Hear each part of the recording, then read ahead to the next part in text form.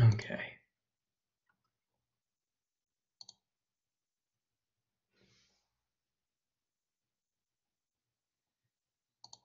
I take it, is that you scanning the screen right now?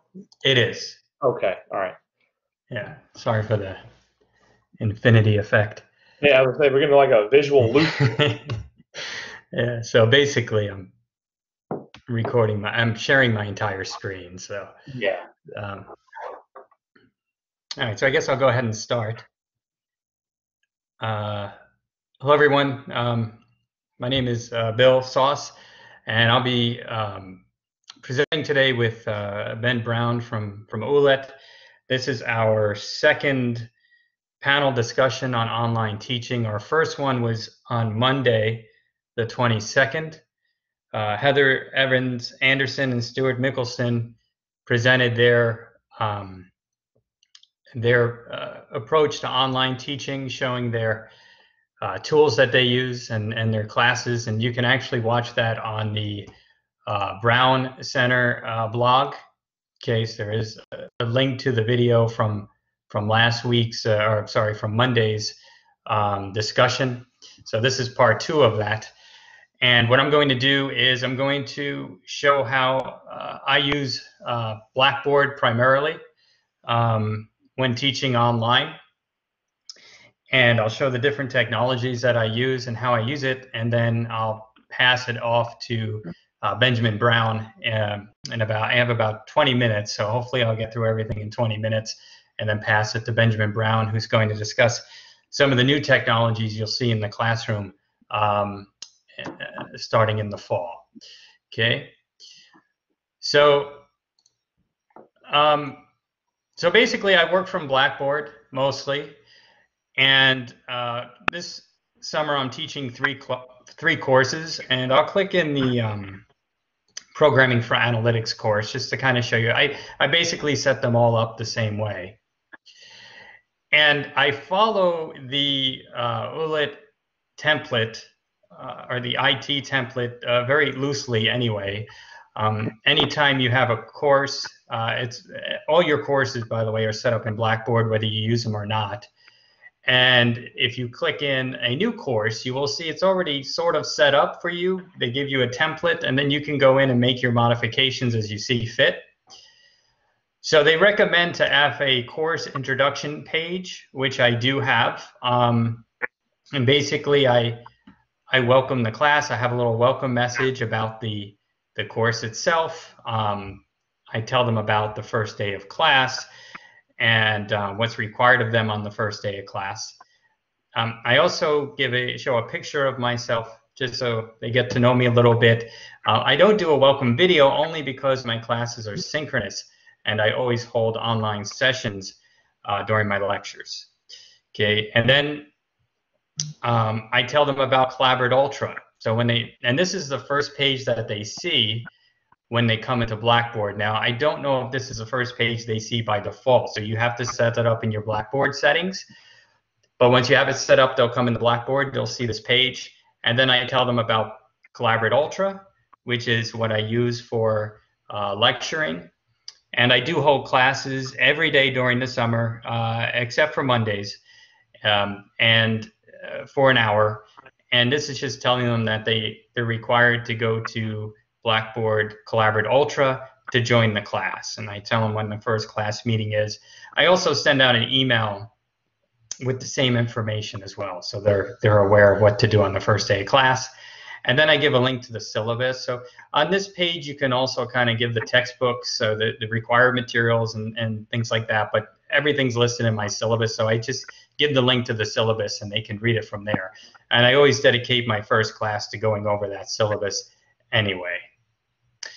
Um, and then I have some important links also here on the side that they can click on. Um, I do have a link to the gradebook. I have a link to MindTap. Now, MindTap is the online learning platform that I use. It's uh, from the publisher Cengage. And I'll go a little bit into how that works.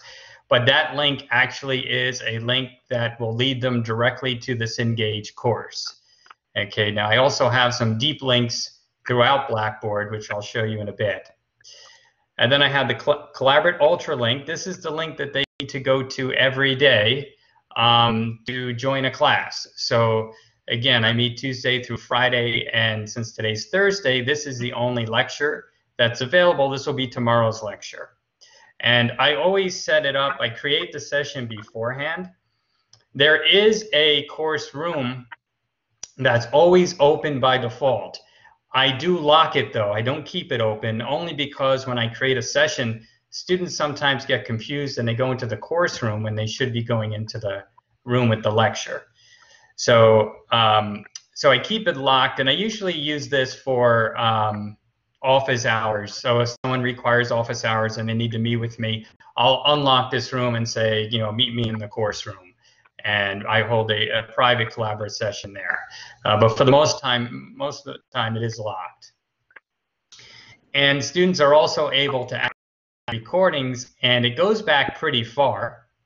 Okay, so these are the um, recordings for the past, I think it's about a month right? Anything past a month, right? So all from 527, that's the earliest recorded, but of course that's not when I started them, but they can always go back and watch them. And during the summer, I don't require them to attend it live. I do hold the lecture from a certain in a certain hour, but if they can't uh, attend the lecture, they could go back and watch the recording. I do require them to do an assignment each day that's related to the lecture, so that kind of forces them to go in and and have to watch it um, and then they submit the assignment by the end of the day. Uh, the reason I do that is because um, during the summer, a lot of students will work. They have summer jobs. Um, sometimes they're overseas in another country. The, the time difference is sometimes a problem. So because of that, I just I you're not required to come to the class, but you do have to watch the lecture and submit the in-class assignment. So that's how I do it. During the fall, when we went um, uh, went online in the middle of the semester, I did require everyone to go to class at that time, only because, right, they were doing it all semester before that, so why not, right? Still attend this hour. But during the summer, I'm a bit more flexible with that. Um, and I'll go into how I use Collaborate in a bit. And then I also have a link to the Respondus browser, which I'll also talk about.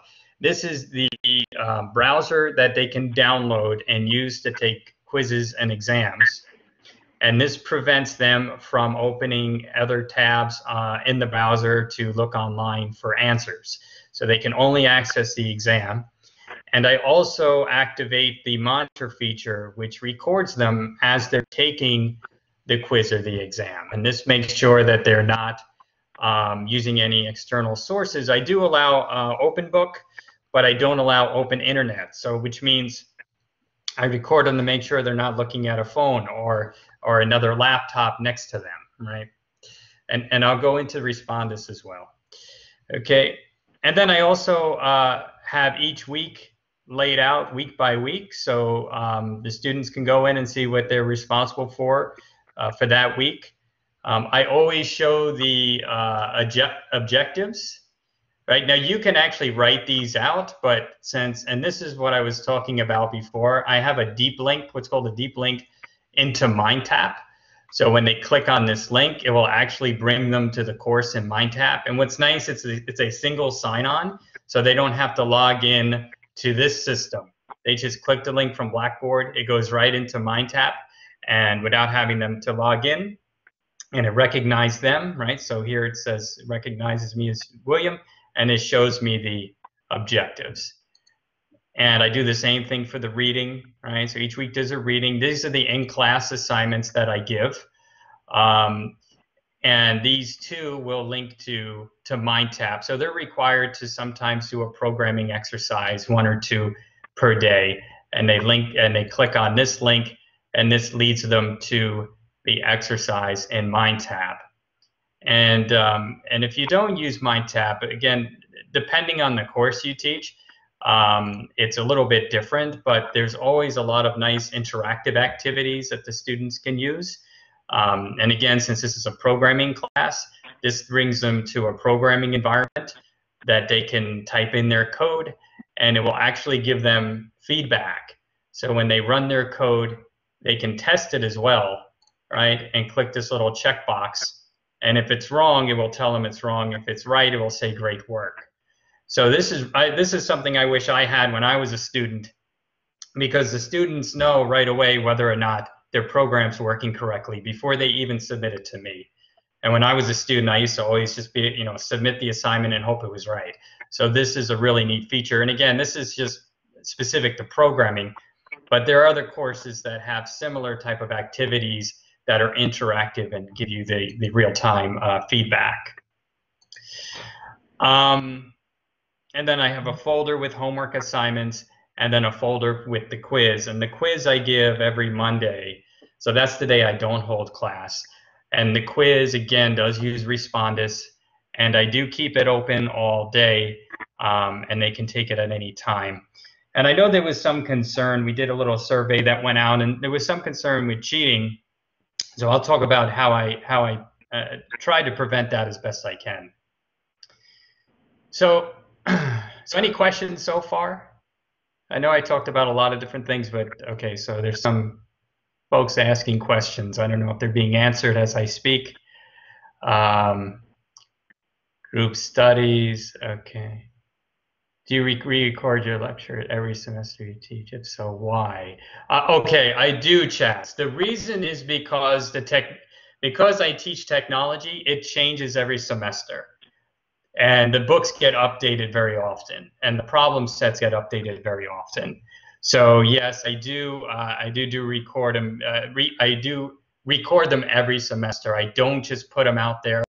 Um, and i know you could do that. If you have uh, if you teach material that's not going to change within the next semester or the next year you could go ahead and do that and you can post them on Ensemble.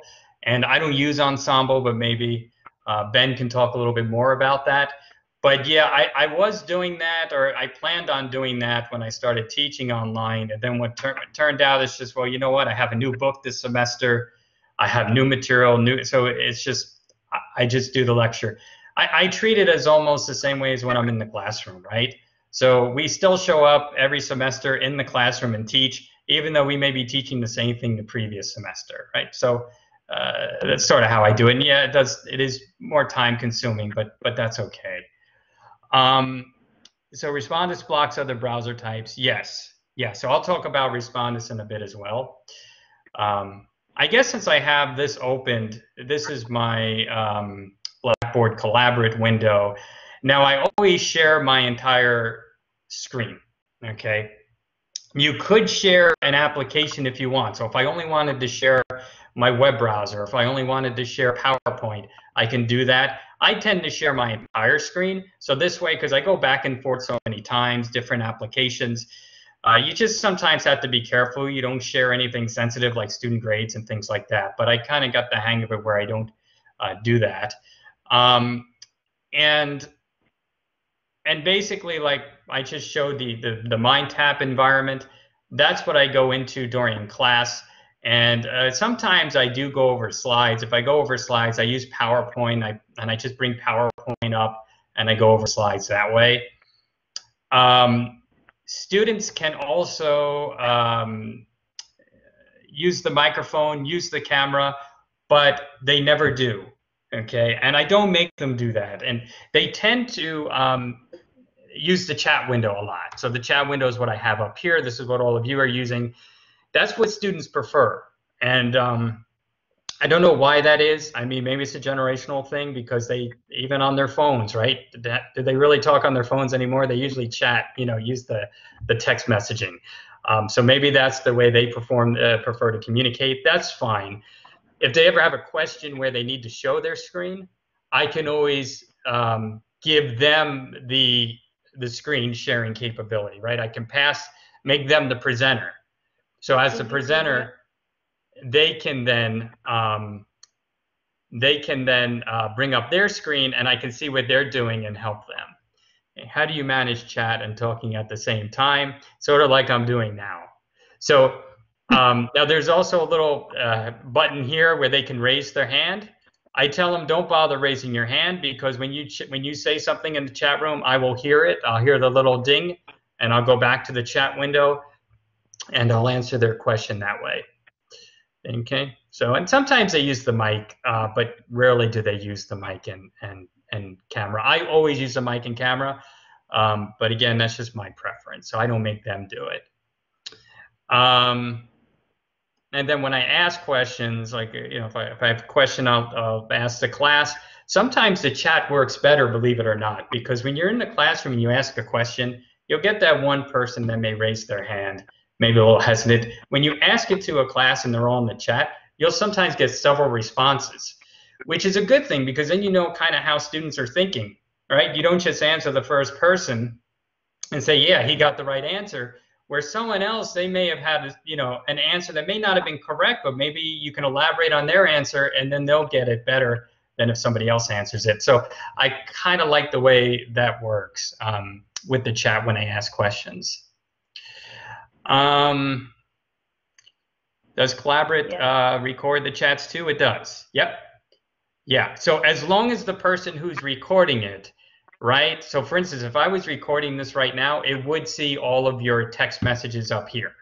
Um, now, Chris, you're the one recording it now. So whatever is on Chris's screen, that's how it's going to look when it's when it's published. Uh, students watch live streamers, YouTube that have live chat. Yeah, right. IT does not record private chats. Okay, all right, that's good to know. So if you have a private chat, then that won't show up. Okay, um, so this is how we share the content. You can share a blank whiteboard. I don't use the whiteboard, but I know there's some questions about that. And yeah, you do have to kind of use the mouse, uh, which could be hard unless you have like a pen. Like I can use my finger here and draw up my finger because my screen is touch screen. Uh, or if you have a pen, you can use that. Um, but again, I'm, I'm not a big whiteboard user. I use it some, you know, in the classroom, but um, since I do a lot of typing with code and whatnot, I will sometimes uh, go ahead and um, and just put little comments and stuff in the code. And the nice thing about that is I, the students, when they follow along with me, they usually type the same thing I do, and then they at least, I know they have it. So, but again, this, this could be a handy feature as well. Um, and then you can share files also if you want to bring up some files. Okay. And like I said, I never use this, so okay, good. It came off. All right. So, okay. So I only have a few minutes left, but but anyway, that's a brief overview of how I use how I use uh, Collaborate. Um, okay, for my quizzes, I actually build quizzes using Blackboard. Okay, and I let me go ahead and edit my test here. And the way I do quizzes is I do pools of questions. Okay, so if you're not familiar with pools, you can get to it from course tools and go into test surveys and pools. You click on pools, and here's all of my pools of questions. And I and I label them by chapter. Um, the reason I do this is one thing is prevent cheating, right? So if somebody takes the quiz first, they can't give the answer to someone else because they may not have the same quiz. So um, I do three variations of each question. And I don't make them too different because, again, I want everyone to be tested on the same thing.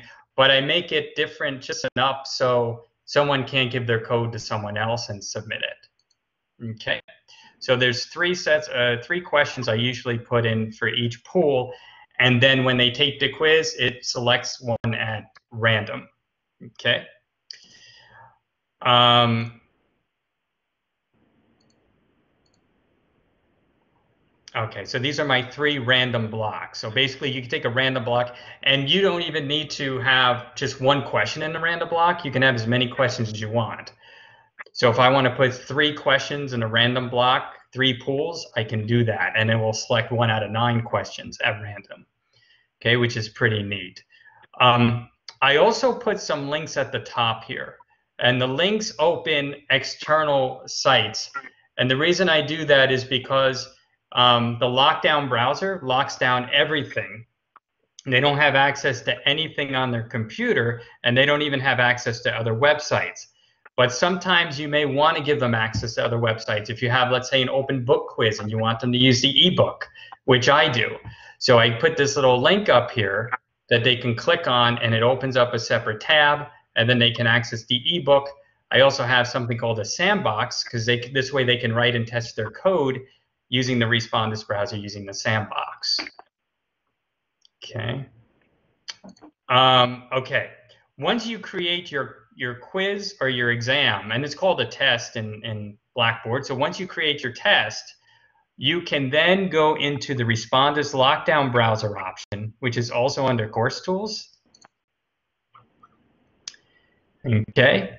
Now I actually take off the Respondus Lockdown after I grade the test because this is the one flaw in the Respondus.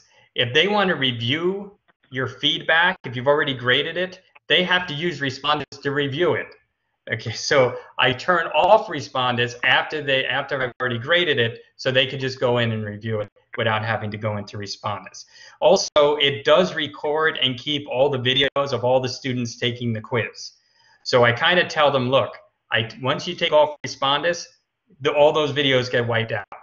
So it kind of gives them peace of mind that we're not here collecting videos of them taking the quiz. Um, okay, so let me just show you the settings real quick. Up here where it says lockdown browser settings, these are the settings for the browser. Okay, um, so this is not the monitor. This is just if you wanted to use the browser. Um, let's say you can use it in the classroom and you don't want them to access other sites online, they can use this in the classroom, okay, without the monitor. Um, there's some advanced settings here. Um, I don't really have enough time to go over them all. The only one that I really check though is the access to external web domains. These are the sites that they can access during the quiz.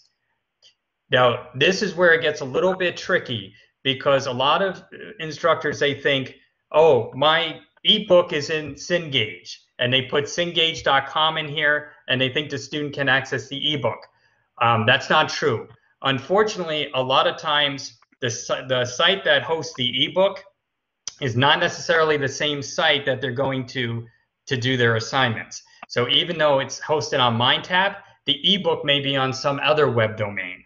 So through a lot of trial and error, I figured out all of the domains that I needed to include so they can access the ebook. And as you can see, it's more than just one link um, to refer to that during the quiz. Okay, so again, what you really, the way I did this is I put kind of a link in at a time. I went into Respondus. Respondus will tell you which link it can't hit. I wrote it down. I came back here. I put it in. I eventually got a long list of ER, uh, URLs or domains that um, that it takes to access the ebook. But it is possible. It's just you know sometimes a little bit of a pain. And then down here, these are the monitor webcam settings. So if you want them to be viewed during the quiz to make sure they're not cheating, this is the uh, area you want to come to. Okay. Now this is really neat. I haven't used this yet, but it says you can require the monitor for this exam, which I do in the summer because everyone's remote but it also gives you the option to use the monitor or a proctored lab. So those of us teaching hybrid courses this fall, if you have half the class in the classroom and half of them at home, right, watching the stream, you can use this link and they can all take it at the same time. So those that are in the classroom, you can proctor yourself, and those that are home taking it online, they can be proctored by the Respondus monitor. Okay. These here are the different steps that they go through before they take the actual quiz. So there's some uh, additional instructions that they're given, okay? And this basically tells them, you know, make sure that um, there's, you know, you don't have access to other devices. Uh, there's no, if it's if it's closed book, there's no notes, things like that. Uh, then they have some guidelines. The guidelines is, you know, make sure you're in a quiet room, there's no disturbances, things like that. Then there's the student photo. The student photo just has them take a picture of themselves. Uh, very useful for online. Then there's show ID. I don't check show ID only because I know all the students. We see all their pictures, right, uh, on my Stetson, so you know what they look like. I don't need them to show me an ID. I know it's them taking it. If this is or if you were maybe teaching a class you've never seen before and you don't know if that person's really a student at your university, they have to show the student ID. Then there's the environment check. This one is, is great because It asks them to show their workspace to make sure there's no papers or anything around. Um, I have them do this. Now, here's the problem with this, though. The system's not smart enough to know that they're actually showing the desk. So I used to get a lot of this, you know, from the student as an environment check, and I had to tell them that's not an environment check. An environment check is showing your desk area, right? Um, so basically, I put a you can edit the text here, and I basically tell them, um, you know, you'll get a zero on this quiz if you don't show your environment. So this way, it kind of forces them, okay, I better show my desk, um, and um, and that's it. And then they go and they take the quiz. And uh, I know I'm running over time, but I just want to show very quickly what it looks like. Okay, um, when they've already taken the quiz this is what you see. Now, here's the nice thing it records everyone taking the quiz. But I tell them, I say, I don't watch the recordings, okay? I don't want to watch anyone, you know, taking a quiz, especially 10 students um, taking the quiz for an hour, okay? But uh, I say I only look at it if, right, the system flags me that there's possible cheating. That's what this is. So you see where it says low and everything's in the green? that's a meter telling me that no one really cheated, right? Student A may have had a few more things going on there where their meter's a little bit higher than others, but it's still not anything to be concerned about unless it gets in the red. Okay, so I can actually look at student A. So I can click on this plus sign, and here's student A. And now I blocked out the face. You know, I, didn't want to show who this was, but basically, um, you can see that there's three flags here where they were missing from the frame. Okay, missing from the frame is if they can't see their face, if there's no facial detection. So this student, uh, and it actually shows you when they were missing. So you can click on it and it will jump to that part of the video. This student just happened to be looking down on her on his or her notes. Okay, that's all it was. And then it said it was missing from the frame. Um, that's fine. Um, this is not something I would bring to the student's attention. I know that they weren't um, really uh, cheating. I had some situations last semester when I first started using this where I had students using a another device and they would be looking away on their other computer almost the whole quiz and I would see missing from frame throughout the whole thing. They would be in the red. And I had to tell them, I said, guys, you can't use another computer. That defeats the whole purpose of even using the Respondus browser right? So, and I said, it's just like when we're in the classroom, I can't allow you to have another computer next to you when you're using Respondus. So I kind of had to remind them of that. Um, but usually a one reminder is all it takes, and then they, and then they're fine for the uh, the rest of the semester. Um, and that's basically it. Um, and and again, Respondus. A few things about Respondus. It is something that they need to download and install. So it's so we have I have a link here that says download lockdown browser. This is a Stetson specific link. So they have to use a specific link which may be available on an IT site. I'm not sure. Ben can tell us that. But when they click on this, it will actually bring them to the download for Stetson. And you'll see here it says install lockdown for Stetson University. So when they down install this and they run the Respondus, it's going to bring them to Stetson um, Blackboard. Okay, so that's how it works. And then I always give them a little test at the beginning of the semester to make sure it works for them. And the test is basically a true false question that says, I don't know, programming is fun. You know, just something that they get used to the browser, they know how it works before they actually take a quiz. So this way I know it works for everybody before they have to use it. And I give them like a little in-class assignment grade for this. So it's nothing that's going to make or break their average, but at least it's something to motivate them to go in and, and do the test. Okay. Um, all right, so a lot of chat going on here, but I want to give Ben his time. So um, I don't know if there's anything, if you want to just type in, you can. Okay. All right, so it looks like, all right, Ben and Harry, you've been addressing these. Okay, if anyone has any questions for me, okay, Hala, you have a question? Uh, yes, uh, th thank you for, for giving this uh, intro to, to Blackboard Collaborate. I've used it over the spring and um, it, it went really well, except for a few things that maybe some other people have solutions for, or you can guide me. Uh, Sure. One, I know that you haven't used the whiteboard a lot, but I use it extensively because Mhm. in the classroom I write a lot on the board. So Sure. the thing is, I, I bought an Apple Pen and I, I use it on my iPad, but then um, it's not very easy to go back to the slides uh, on the iPad because it goes back to the first slide and I it's hard to scroll down. So I have to keep Mhm. switching between my laptop and iPad and that was like not very convenient. So I don't know if someone has a solution uh, to using the whiteboard uh, effectively on a laptop. And, and again, I don't I don't use it as like you said. So I mean, I don't use it that often.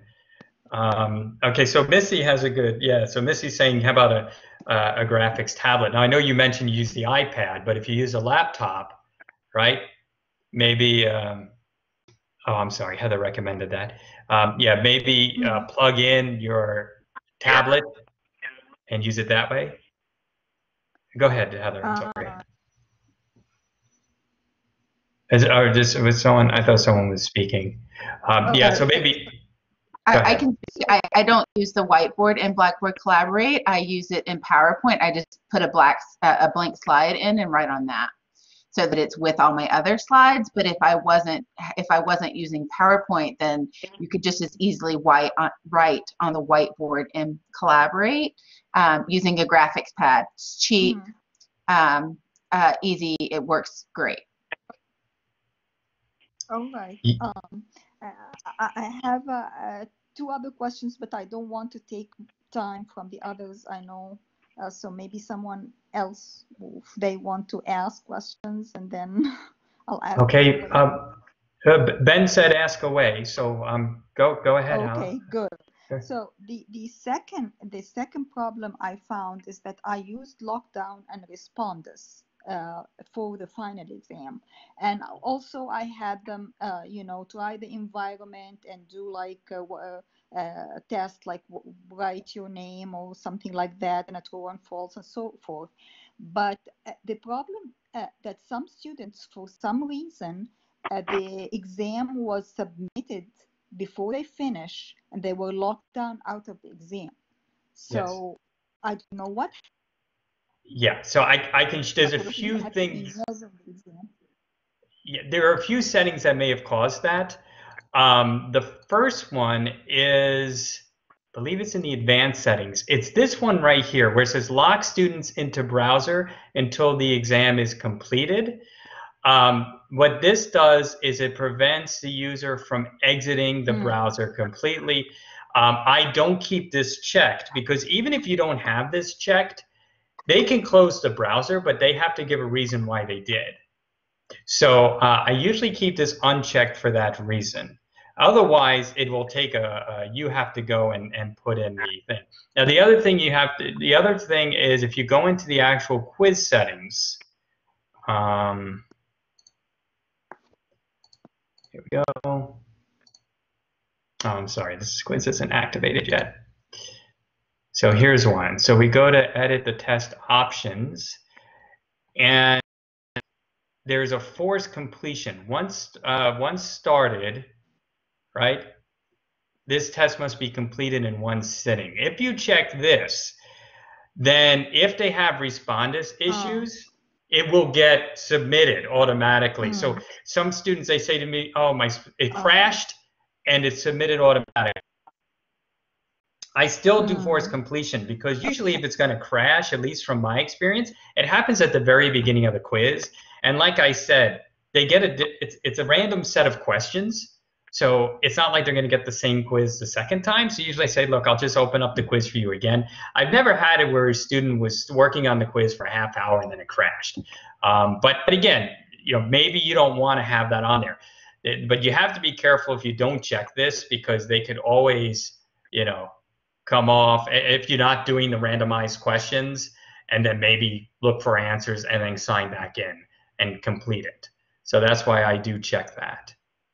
Uh, okay, so uh, so my third my third question actually is, um, uh, you know, in the Blackboard test, uh, there's an option for the students to attach a file. So, for example, if I need them to draw something or solve an equation that's easier to do by hand, uh, I, I, thought it was uh, going to be uh, more like friendly for them to write it on paper, scan right. it, and, sub, and attach the file.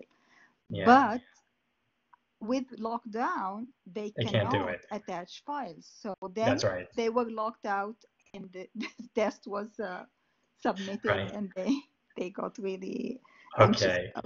Mm-hmm. Yeah, so that's the thing. Uh, yeah, you do have to, if, if you do have questions that require attachments, y- you can't put that in the lockdown browser. That is that is true.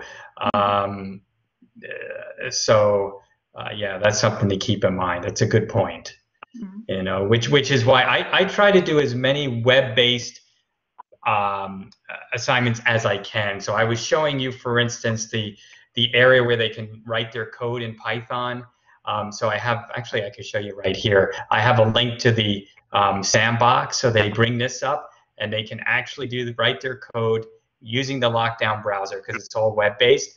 But then I just have them copy and paste the code into Blackboard and they submit their code that way. Um, if I were to ask for an attachment, it wouldn't work. So that's why I have to do that. Mm-hmm. Uh, and my last question, I'm sorry, I have so many questions. Oh, that's um, okay um, is uh, like when I uh, the new shell is created, I just copy an old course and then I edit it. So will that uh, copy the recordings from last semester as well? Yeah, yeah. So um, and I believe that's under customization. Now I only do this once a semester, so um, but customization and right let's see, not quick setup. Oh, maybe it's under package and utilities. Here we go. Okay, so you can do course copy.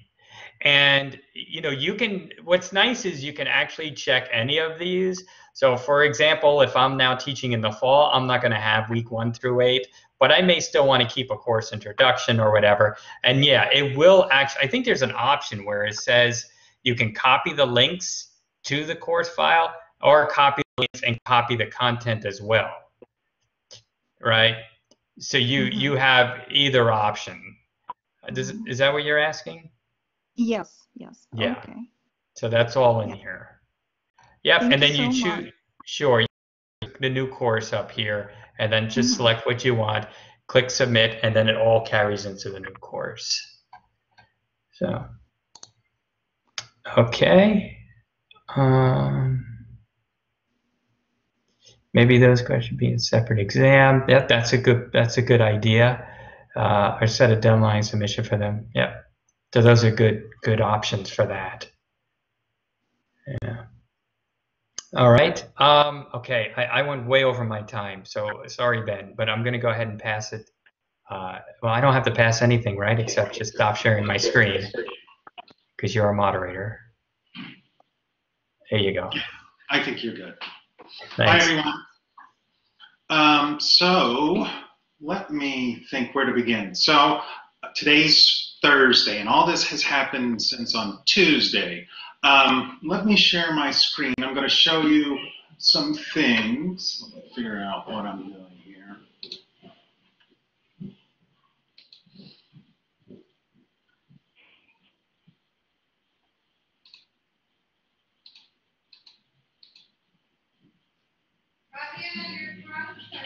Let me see. Okay. Everybody see? So good news first. Um, I am. We are getting Zoom for the university. Um, I don't know how many licenses we actually wind up getting, but what will happen, I think what will happen is you will log into My Stetson somewhere, and then that will feed you into Zoom the first time, which will log you in, create your account, and all that sort of thing. All faculty will get uh, their own um, account. I don't know at what level and what sort of things it does. Again, this just happened on Tuesday. And so that's really, I guess, the good news because everybody really seems to like Zoom.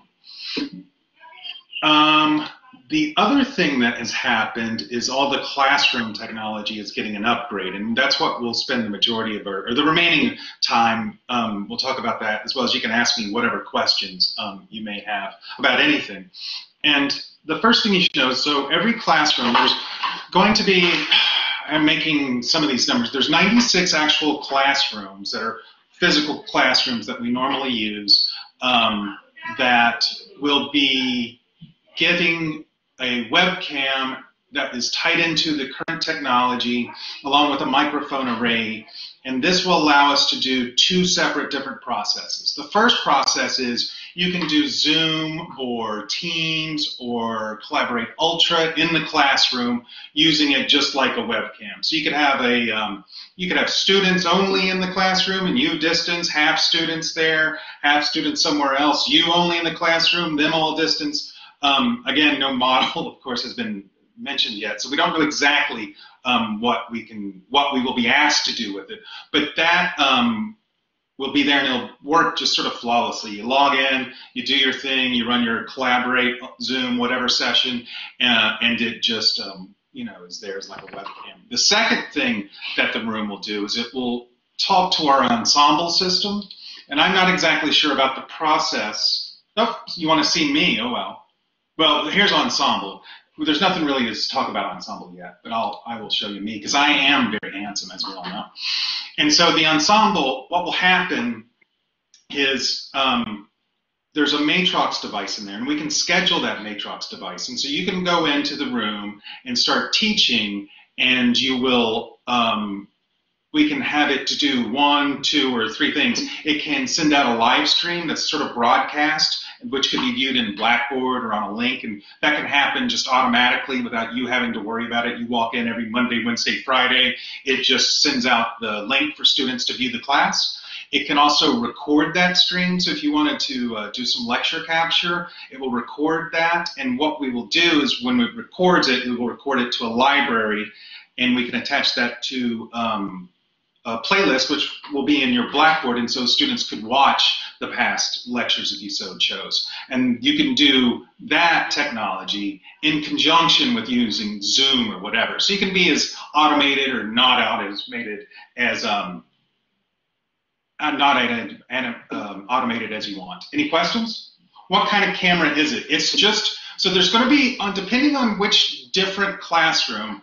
It's going to be one of two types, and primarily it's going to be the sec the first type it's a PTZ camera which can pan, tilt, or zoom. And we're not going to really use any of that PTZ functionality initially because it's going to require some programming and we're a little bit under a time pressure.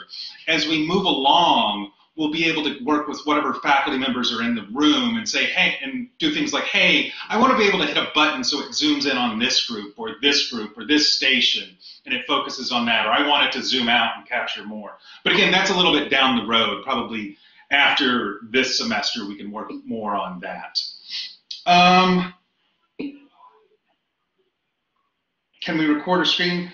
Yeah, so the Matrox device, what it's going to capture is, is both what's coming out onto the projector as well as whatever the camera is showing. So let's say we're um, doing the ensemble stream. What would be streamed is the video, like your PowerPoint presentation over here, and then the video class over here. But what's nice is, is it's, a, it's a dynamic browser. So sometimes you just want the classroom. And so if there's only the classroom over here, the user can click it and it just brings up the classroom. Or it does it like a little picture in picture, or it does it side by side, or it does this one. It just depends on how the user chooses to display. And that's a nice feature. Um, any idea how the camera will do with the chalkboards or the whiteboards? Will those be legible? Hopefully, yes. We are going to set up the camera so that the whiteboard um, is the focus, like the whiteboard and the front of the room is the focus on the camera initially for the, every initial shot. And so it may be that the teaching station's not, you won't see the teaching station in that shot. It may be that, you know, some of the class is not in that shot, but the whiteboard will initially be the focus. And then again, we can work later to make it not the focus. Um, so legibility, we've done a few tests, and quite honestly, the key to, the whole um, legibility issue is buying ginormous um, markers that we bought and tested, and I'll have to make sure we buy them by the truckload because that's really the regular dry erase do show up in black, but when you buy the really fat one, it works really well actually. Chalkboard, we're gonna have to get you some fat chalk. And I've never tested it in the chalkboard room because we don't have any chalkboards in LBC, and that's the only room they let me play around in, so we'll have to do some chalkboard tests.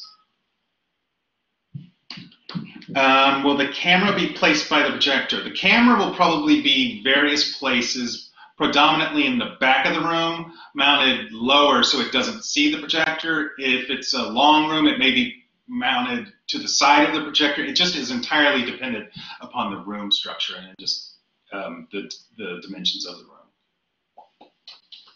Two camera types. The other camera, Rosalind, is just a basic, what we call a box camera. In some rooms that are, I, I can't even think of a good example. Maybe in Sampson, there's just some rooms that a bot like a P, it, there's no need it's too narrow for a PTZ and so I think we'll get a box camera it's actually cheaper and so that's just the other kind you should know that uh, because every university in America is doing this um, we're not limited but we've chosen to get cameras these are not the greatest cameras in that they're super super expensive 4K these are just um, HD good cameras and sort of um, the beginning of the process you can do lots of great things with more money, but since every room's getting it, we've just gone with the basic. In bigger rooms, less bigger fancy rooms, like let's say Sage 222, one camera really just doesn't do anything. But you know, to put multiple cameras that pass off and based upon where microphones are being shot off and such, those runs into tens of thousands of dollars. But the backbone of what we're building in every room um, this Matrox device, along with the microphone array to a camera, can be upgraded at any point. So no, we're not really losing any. Um, we're future-proofing ourselves. And we may not have students in there. How much is this costing per room? I don't really know. I know that there's been some figures thrown out that were probably high. I would think a few thousand dollars per room, maybe like four or five, would be the total cost. There's also some general we also had to we have some licensing issues i believe in terms of uh, not licensing we have to have storage issues so there's probably money for storage as well where do we put all these recordings the big thing i would like a little bit of feedback about is how would you want to go about requesting or wanting your videos recorded automatically and having a stream in Blackboard? Is that a process that you want to fill out a form for? Is that a process you want to you know, what's the easiest way to communicate the recordings of video?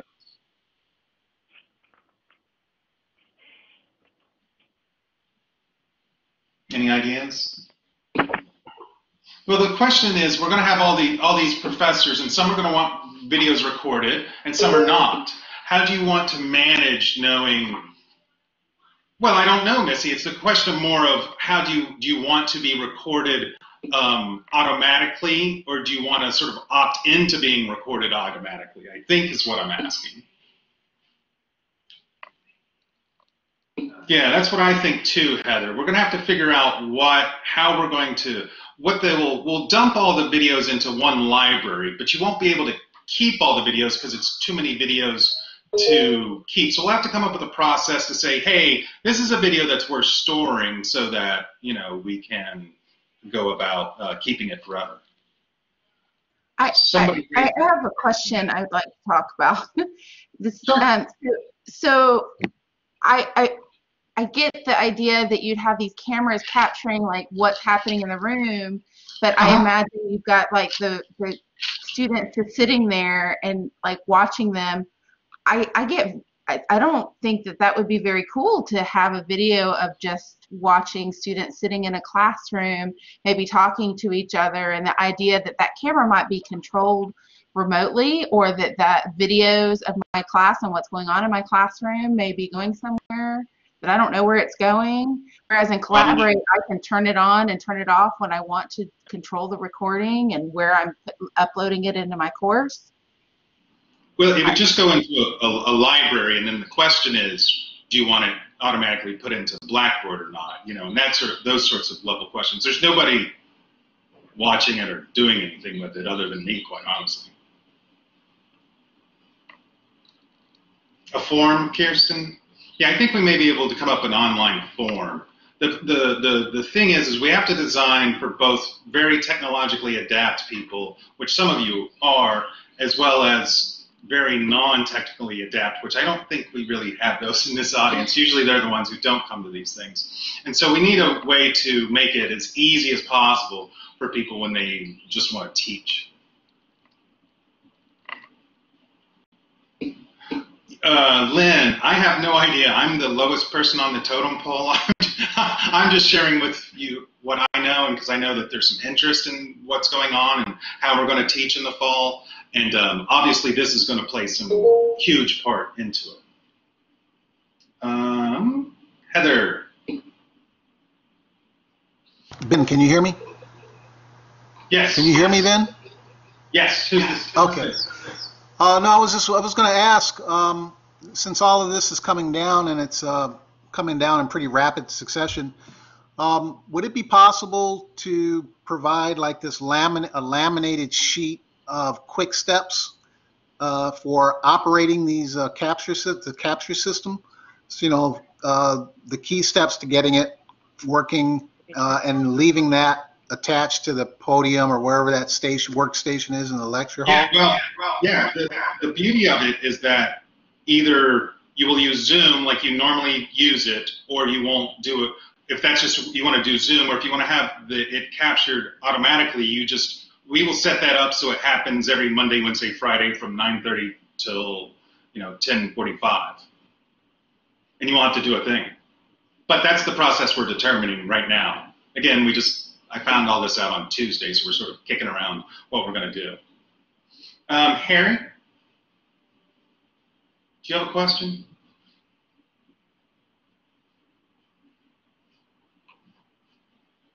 Guess not. Um, let me go back to my chat. See here.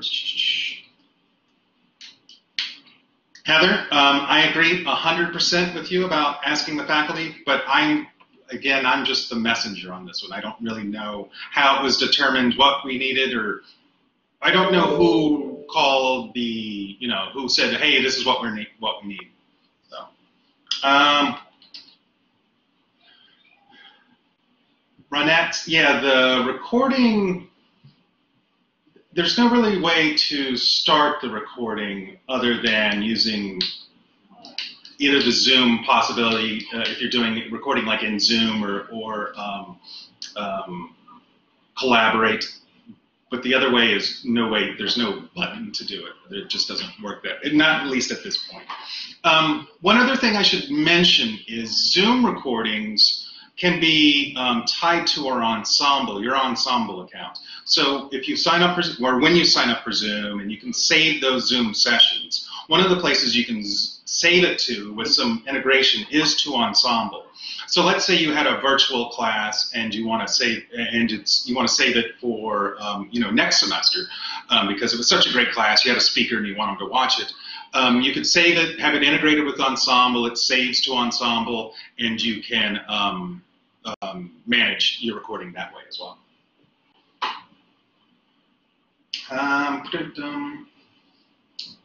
Um. So then the camera, uh, the camera's in the classroom. We'll- We'll just review, and it does two things. One thing, it's hooked to the PC, and the PC it just operates like a big fancy webcam. You've got um, microphone array and the camera, and so when you bring up Zoom or Teams or anything, it just operates like the webcam that I'm looking in now, only in a big fancy level. So you can use all those collaborative tools. And then a separate process that can be running at the same time as that you're doing this is that it, there can be an automatic um, recording or streaming um, of the video, but it doesn't have the two-way communication. So we want to be able to offer um, both services um, for different faculty needs. Other questions? Other Blackboard questions or anything like that?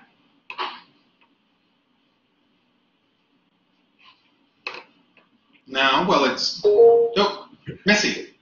Yes, I had a couple of Blackboard questions for you that I just was playing around with Blackboard Collaborate this afternoon and um, doing a thing where I was um, sharing the PowerPoint, um, but I found that even though um, I, would I would click stop sharing, um, but I kept on seeing the PowerPoint for quite a while and it was pretty difficult to eventually get it to go away. When I reviewed the recording, however, um, I could see that this, the students or whoever would have been watching this definitely weren't seeing the shared PowerPoint anymore, but I'm still trying to click away or escape, escape or whatever to um, to get out of it. So was there something weird that I wasn't doing, or was my computer just doing something weird? I think your computer is just doing something weird. That's not anything I've ever heard of. Um, so if it does it again, let me know, and we can look into it. But that just sounds like a, you know, a computer just goofing up there for a minute, not displaying properly. That's what it sounds. like. I had another issue too with it. I was um, using the um, the whiteboard, and I had done with a graphics pad, and I had done some drawings and things. And when I played that back, it was playing back. It, it seemed slowly, so that what I was writing on there was kind of choppy. It was kind of, um, it didn't Oh. seem like it was doing it at the right speed. And I'm doing this on my desktop at home, so, So that's the way it works because instead of streaming video, it really streams snapshots like every oh however often. So it doesn't show a nice smooth cursive or anything. And that's why I always recommend like if you're trying to show a video through the platform, just to send out a link in the chat and let them click it, watch it, and then come back to collaborate. Because sometimes it works well, sometimes it doesn't. But certainly on the recording aspect of the whiteboard, it um is just taking those snapshots to save bandwidth, quite honestly. And so- but it's just the recording. It's not, so when they're uh, watching it in real time, you know, synchronously, then What? they're seeing it, they're seeing what I'm seeing if it's synchronous. Yes, it, but it can't. If it, it sometimes it will degrade the signal based upon user if they have poor bandwidth issues. So everything, everybody having nice happy bandwidth, yes. But if there's a bandwidth issue, that's one of the re, one of the ways it saves um, power, I guess, for lack of a better Okay. word. Okay, good. Thank you. You're welcome. Other questions? I miss. I heard some chiming.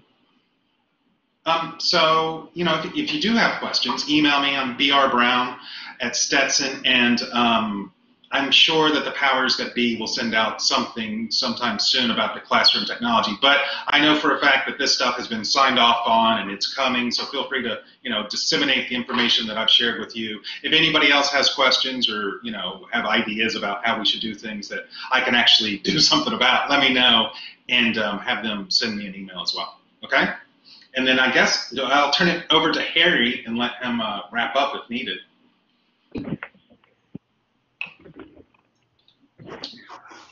Thank you. Thank you very much, Ben. Thank you, uh, Bill, for talking and uh, sharing your knowledge with everybody today. Um, so this is going to wrap up for uh, this session. Um, it'll probably take uh, a day or so um, for this recorded session to be posted on the Brown Center blog. When when it when it is posted, uh, we'll let you know. But you can always uh, go to the Brown Center blog and look at the announcements, um, and you'll see it under the announcements and recent posts. Um, on the 30th, uh, next week, Tuesday, June 30th, that'll be the third and final uh, discussion um, um, about our online uh, learning. And I hope everybody can uh, join us at that time. And you can always send emails, okay? So that's all I have. Uh, I wish everybody a good afternoon and stay healthy.